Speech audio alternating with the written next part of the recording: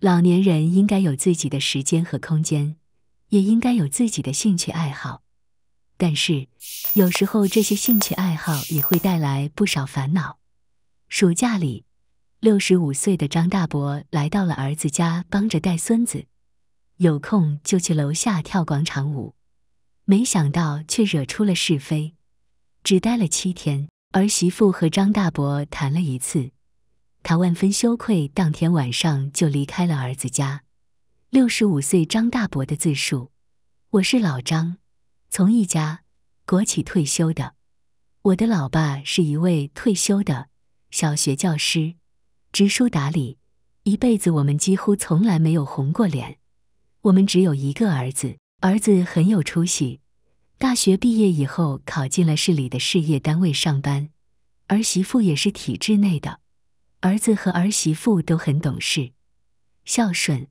我们给出了房子的首付以后，房贷他们自己还着，平时从来不找我们要钱。每当那些老朋友说儿子成家立业以后还得啃老，整天找借口跟父母要钱的时候，我就很庆幸，儿子不但不找我们要钱，每到逢年过节还给我和老伴发红包，给我们买衣服。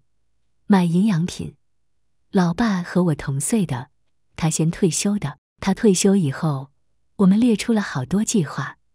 老伴说，他就等我退休了，到时候我们去游览祖国的大好河山，让晚年生活绽放光彩。可是生活总是有太多的不如意。老爸是春天退休的，到了冬天，突发脑溢血，在重症监护室里住了三个多月。好歹救回了一条命，但是躺在床上生活不能自理了。老伴卧床八年，都是我照顾的。儿子儿媳妇看到我一个人照顾老伴太累了，就想雇个护工或者保姆减轻我的负担，被我拒绝了。让别人来照顾老伴，我不放心。老伴临走的时候，身上没有一点褥疮。虽然天天照顾老伴很累，但是我没有丝毫的怨言。最后那一年，老伴身体越来越差，我晚上几乎没有睡过囫囵觉，一晚上不是给他喂药，就是喝水或者翻身子，处理大小便。我尽心尽力的照顾着老伴，但是让人难过的是，老伴没能抗争过病魔，六十三岁那年在睡梦中走了。老伴走了以后，我非常孤单。后来。我加入了跳广场舞的队伍。年轻的时候我就喜欢文艺，我擅长吹拉弹唱。我虽然六十多岁了，但是身材不胖不瘦的，也适合跳广场舞。为了更好的跳广场舞，我专门去店里买了几条质量很好的、带弹性的白色裤子，几件颜色鲜亮的 T 恤衫。我去理了一个现在年轻人留的那种三七分的商务发型。人是衣裳，马是鞍。我这一打扮啊，年轻了十岁多呢。我刚加入广场舞队伍时，跳广场舞的那些兄弟姐妹都猜我的年龄，他们说我也就是五十岁露头的年纪。我听了哈哈大笑。跳广场舞，我觉得生活充实了很多，再也不像老伴刚刚走的时候，天天自掉眼泪，日子过得灰头土脸的。每天晚上七点，我们会准时出现在广场上。我觉得生活有了规律，也有了奔头。我们这里是七月六号放暑假，刚刚放了暑假的时候，儿子就打来电话问我是否有空。儿子说，我要是有时间的话，就让我去带两个月的孙子。孙子放了暑假，儿子和儿媳妇都得上班，把孩子一个人放在家里，不放心呢。我一听，连忙说：“有空，有空。我一个人在家里，什么事也没有，怎么能没空呢？”我让儿子放心，我收拾一下，马上就去他那里。放下儿子的电话，我赶紧收拾了几件换洗的衣服，锁上门就直奔楼下，开车就去了市里的儿子家。临走的时候，我把家里断水断电了，窗户也关紧了。那几盆花，我也从阳台搬到了屋里，浇得透透的了。两个月不用浇水，是没有问题的。从县城到儿子家里，一个来小时的车程。在路上的时候，我在想，来儿子家好是好，可以享受天伦之乐。我也想小孙子了，可是唯一遗憾的就是不能和那帮老朋友跳广场舞了。我又很快安慰自己，也许儿子的小区里也有跳广场舞的呢。广场舞已经成了我生活中的重要的一部分，我可不舍得放弃。这是我老年生活当中最重要的兴趣爱好了。我刚来到儿子家以后，我就告诉自己，我是一个公公，一定要遵守儿子家的生活习惯，别自以为是，否则会让儿子和儿媳妇嫌弃。刚来的那天特别热，我穿着长袖的褂子和裤子，儿子让我换上短袖衣服，我摆摆手说不热。儿媳妇不喜欢开空调。他说：“一开空调就打喷嚏，容易感冒，而我特别怕热，再加上穿着长袖的衣服，几个小时后我脖子里都要起痱子。儿子和儿媳妇上班以后，只有我和小孙子在家，我可以换上短袖的衣服，打开空调凉快一下。下午儿子和儿媳妇下班了，我抽空就溜到楼下去转悠。儿子家楼下有一片空地。”是个小广场，周围栽满了鲜花，有二三十个人在那里跳广场舞。我一看，太巧了，他们跳的曲子正是我们经常练习的那支舞曲。音乐响起来的时候，我就跟着跳起来。我自然而然地加入了他们的队伍。由于我舞姿出众，再加上我身材挺拔，很快引起了大家的注意。中间休息的时候，几个大妈围上来。问我以前怎么没过来跳啊？夸我跳的这么好，比他们这些经常跳的人还要棒。我不好意思的低调的说：“我是刚来儿子家的，以前我在县城里也经常跳广场舞，现在跟着你们来学习了。”他们开玩笑说：“你太谦虚了，你的水平这么高，可以当我们的领舞了呢。”大家这一说，我还真来了劲头。我不但会跳广场舞。还会跳交谊舞呢。我和两位女士先后跳了两段交谊舞，周围是阵阵的掌声和喝彩声。一个大姐告诉我，他们打算用这支舞曲去参加市里的老年广场舞大赛，希望我也能参加，为他们的广场舞队伍增光添彩。我一听非常高兴，我赶紧问他们在哪里买的服装，我也得去置办上一套，咱又不差那点钱。一个姓李的大姐说：“她负责采购的服装，再给我追加一套就行了。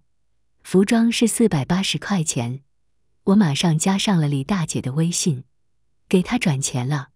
李大姐姐把我拉到了他们的群里，让我随时看群里的通知。李大姐嘱咐我，那几天他们要天天练习广场舞，只要群里下通知的时候，就让我过来一起跳舞。我非常高兴。没想到一来儿子家想，就找到了广场舞队伍，再也不用担心在儿子家无聊了。第二天，我陪小孙子写了一中午的作业，到下午的时候，我看到群里发了通知，说三点的时候在小区的活动室里练习广场舞，因为那时候太阳正热，不适合在广场上跳。我嘱咐了小孙子几句。让小孙子先看着电视，然后再读一会英语。我打算跳一会儿广场舞就回来，可是没想到练广场舞的时间有些长了。由于有几个动作不到位，影响了整天效果。我这个人很热心，随时在那里帮他们纠正动作，给他们做示范。李大姐说：“干脆让我当男队的领舞算了。”因为我的领舞比那位大哥要好多了，我赶紧摆摆手说：“那可不行，你们练了这么长时间了，我毕竟还是新手。虽然我很熟悉这支舞曲，但是我是外地的，孙子开学以后就回老家了。那天下午回家的时候已经快六点了，儿子和儿媳妇都回来了。我一进门就看到儿媳妇的脸色不高兴，儿子问我。”爸，你去哪里跳广场舞了呀？我们回来的时候，孩子一个人在家，这可不行啊！我们让你来，就是为了让你帮忙带孩子的。”我一听，连忙解释说：“孙子在家里很听话，也不用我时刻陪着，他做自己的事。这不我在家里闷得慌，去楼下跳广场舞了呢。以后我再出去的时候早一些回来。为了弥补自己的过失。”我洗了把手，赶紧进厨房，帮着儿媳妇洗菜切菜，把饭菜端到桌子上，儿媳妇的脸色这才缓过来了。第二天早晨一大早，儿子家都还没起床，我就悄悄的起来帮他们打扫了卫生，又去附近农贸市场买回来肉和菜，还给他们买回来了早餐。儿子和儿媳妇吃完以后，我就让他们赶紧去上班。我来收拾桌子，儿媳妇很高兴。她说：“爸，以后你就常年住在我们这里吧。不过你得少去跳广场舞，要不就耽误事。我根本不打算放弃跳广场舞，这是我最大的爱好。”到了下午，我看到群里又发了跳舞的通知，以后我又坐不住了。我安排了一下小孙子，就迫不及待的去活动室跳舞了。不过中间休息的时候，我还是给孙子打了个电话，知道他在家里安静的看电视，我就放心了。那天下午练完广场舞，李大姐突然对我说：“老张，你初来乍到的，得有个欢迎仪式吧？今天下午我请客，请你赏脸，咱们这几个要好的朋友去附近餐馆坐坐吧。”我一听不好拒绝。我就给儿子和儿媳妇打了电话，告诉他们晚饭不要等我了，我和跳广场舞的朋友一起吃。儿媳妇在电话里也没有吭声。我们去了附近一家比较上档次的饭店，一共六个人。吃饭的时候，大家聊起了各自的家庭状况。我先说起了老伴已经去世了，这两年我也就是跳广场舞来度过的，锻炼了身体。生活也比以前充实多了。这时，李大姐说，她的丈夫走了不到一年，她就在这个小区里住，正好在我儿子家的那栋楼上。儿子家在一单元，李大姐住在二单元。那晚我还喝了几杯酒，大家吃得很尽兴。我回到儿子家的时候，已经晚上十点多了，孙子没在客厅了。我蹑手蹑脚的想去孙子的房间看看，儿媳妇低声说：“爸，你别进去了，孩子已经睡熟了。”我刚想和儿子儿媳妇聊聊晚上出去吃饭的情景，告诉他们我虽然刚刚来，但是也结交了好几个朋友了。没想到儿子和儿媳妇转身就进了卧室，把我一个人晾在那里，我也没太放在心上。我的心思大部分放在了广场舞上。我这个人做事认真，精益求精，走着坐着都在琢磨如何把这支舞曲跳得更好一些。此后的几天，中午我都是陪孙子写作业，下午的时候我就去跳广场舞，天天如此。每到下午五点多，李大姐就说：“天气热，回家也不想做饭。”在厨房里做一顿饭就大汗淋漓的，也没胃口吃了，干脆大家就在外面吃吧。咱一个大男人也也不能经常让女同志请客呀，我就主动买单。李大姐就夸我大气场面，我喜欢吃海鲜。那次我请大家去附近的海鲜楼吃一顿，没想到在市里的大饭店吃饭真不便宜，这一顿海鲜竟然花了两千多块钱。吃饭的时候，由于要了两大盘子的螃蟹，没有吃完，扔了可惜，我就把那几只螃蟹带回来了。儿子一看，问我去哪里吃的，我说出了那个海鲜楼的名字。儿子问花了多少钱，我说不便宜，花了两千。儿媳妇当时就说：“爸，你可真大方啊，咱家一个月的生活费才三千来块钱。”你请客就得花两千，我说不就是吃顿饭吗？贵点就贵点呗，又不是天天这样花钱。我一个月六千来块钱的工资，请客还能吃得起。儿子和儿媳妇对望了一样，摇了摇头，什么都没有说。虽然我才来了不几天，可是我在跳广场舞这些朋友当中，口碑越来越好。大家都知道我是个有钱的老头，做事场面大气。尤其是李大姐，她性格爽朗，天天对我笑意盈盈的。只要中场休息，就过来找我说话。我们几个人甚至还约好，过些日子，大家一起结伴旅行。我们打算去南方住些日子，不过得等到孙子上暑假了才能成行。另外那几个朋友也说过些日子天凉快着，就约着一起出去走走。那天儿媳妇突然对我说：“爸，你以后在家里好好陪着孩子。”别光想着去跳广场舞了，我一愣，跳广场舞怎么了？老年人活动一下身体，总比窝在家里强啊！当儿媳妇说出原因以后，我就觉得脸上火辣辣的。原来我跳广场舞惹出了是非。这几天我和李大姐走得比较近，李大姐的女儿和儿媳妇是一个单位的，又住在一栋楼上，都很熟悉。让我注意点，别走得太近了，要不邻居们会说三道四的，影响不好。这个原因让我有些无地自容，我赶紧解释说：“儿媳妇呀，我还真没想这么多呢，我也没那方面的心思。你母亲虽然走了，但是我一直放不下，这辈子我也不打算再找作伴的了。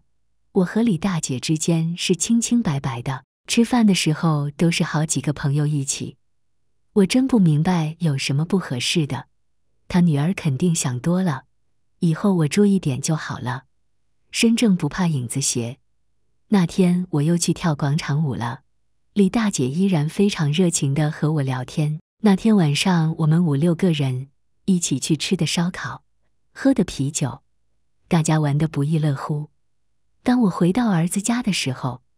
儿子和儿媳妇都坐在沙发上等着我。我一进门，他们就煞有介事地问我干嘛去了。我坦率地说和李大姐他们去吃烧烤了。没想到一向孝顺的儿媳妇气得涨红了脸，她大声说：“爸，你想出去吃饭，咱们一家人可以一起出去吃啊！你不要和他们一起跳广场舞了。我们请你来是帮着带孩子的。”可是你却天天沉湎于广场舞，还惹出了是非。明天你就回家吧。儿媳妇的话让我大吃一惊，我脸红脖子粗，赶紧回到卧室。那一晚我翻来覆去睡不着。本来儿子和儿媳妇都对我非常孝敬，可是就是因为跳个广场舞，弄得如此尴尬。我简单收拾了一下，连夜离开了儿子家。我悄悄地退出了广场舞的微信群，心里非常失落。难道老年人就不能有自己的兴趣爱好吗？朋友们，我应该怎么办？